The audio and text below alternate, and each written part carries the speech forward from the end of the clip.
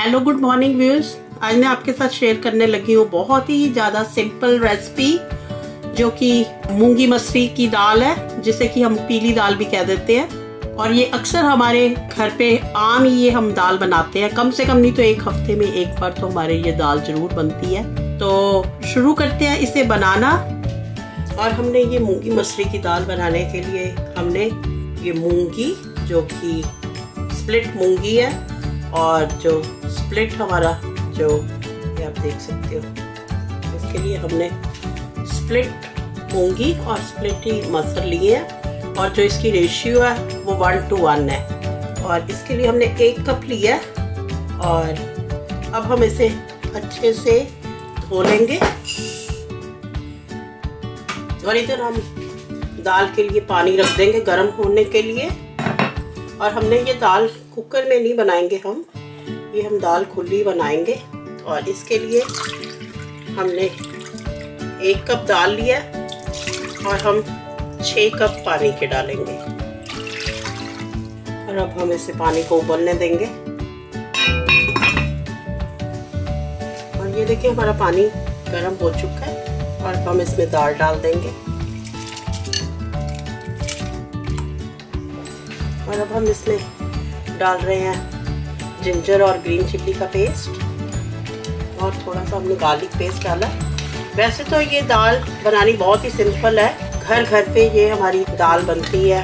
मैंने सोचा क्यों ना मैं आज अपने तरीके से शेयर करूँ आपके साथ ये दाल बनानी.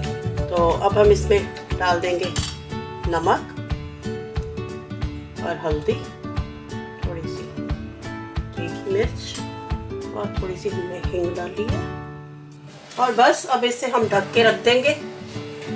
जब तक कि हमारी ये दाल अच्छे से पक ना जाए, एक बार इसे हिला देंगे। क्योंकि कई बार जब हम दाल डालते हैं इसमें तो वो नीचे जाके चिपक जाती है। तो इसीलिए हमने इसे एक बार अच्छे से हिला देना। वैसे तो हम इसे बार बार बीच बीच में भी चेक करते रहेंगे और इसे 20 टू 25 मिनट लगेंगे बनने में। और हम इसे ढक के रख देते हैं। ये देखिए, हमारी दाल अब उबलनी शुरू हो गई है। और अब हम इसे मीडियम के, मीडियम पे करके इसे रख देंगे। और ये देखिए, हमारी दाल बिल्कुल रेडी हो गई है 25 मिनट्स के बाद। और ये डिपेंड करता है, कई बार आपकी दाल पे भी, कई बार हमारी दाल ऐसी आ जाती है जो गलने में थोड़ा ज़्यादा टाइम ले लेती है। या कई दालें ऐसी हैं जो बहुत ही जल्दी घुल जाती हैं। तो डिपेंड करता है आपकी दाल पे। और अब हम इसे तड़का लगाने की तैयारी शुरू करते हैं। और अब हम दाल को लगाएँगे तड़का। इसमें हमने two to three tablespoon of oil डाला और ऑयल को हम गरम होने देंगे। ऑयल हमारा गरम हो चुका है और हम सबसे पहले इसमें डालने लगे हैं जीरा। और अब हम इसमें डालेंगे गार्लिक छोटा छोटा चॉप किया हुआ।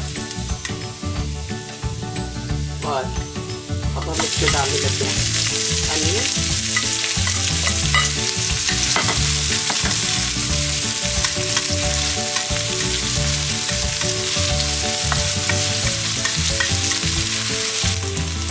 ऑनियन को हम अच्छे से ब्राउन होने देंगे। क्योंकि इस दाल में प्रॉपर भुने हुए अनियन बहुत ही ज़्यादा यमी लगते हैं। इसलिए थोड़े से हम नॉर्मल से थोड़े से डार्क करेंगे हम अनियन को। और हम इसमें डालने लगे हैं। छोटा छोटा चॉप किया हुआ जिंजर और साथ ही टमाटर। और इसमें मैंने ग्रीन चिली भी इसी में डाल दी।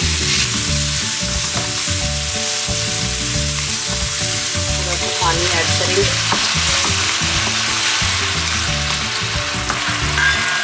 और थोड़ी देर के लिए हम इसे ढक के रखते हैं। हमारे टमाटर अच्छे से गल जाए।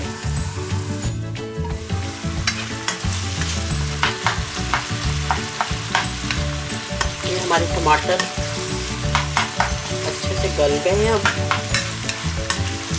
थोड़ी सी हल्दी, थोड़ी सी मिर्च।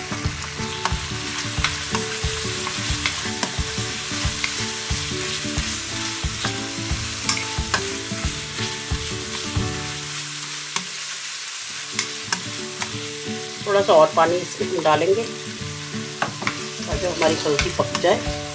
जैसे कि आप देख सकते हो, मसाले ने ऑयल छोड़ दिया और अब हम इसमें ऐड करेंगे दाल।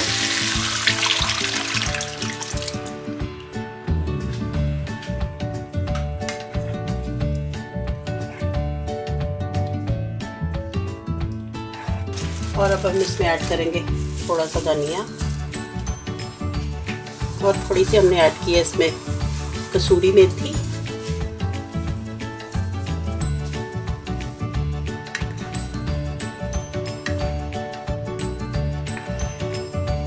थोड़ी देर के लिए हम इसे ढक के रखते हैं।